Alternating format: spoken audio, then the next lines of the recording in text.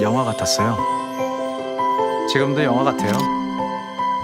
장르가 스릴러로 바뀌어서 그렇지. 이거 살인이야, 살인. 통나 저에게 주십시오. 아빠, 아빠, 아빠. 知的でイケメンだけどヘタレでせこい夫 이런 치졸한 인간 먹여 살린다고 제 청춘을 다 날렸다고요. 조용히 하세요, 그냥. お嬢様でキャリアウーマけど破天荒な妻 냉장고, 냉장고가!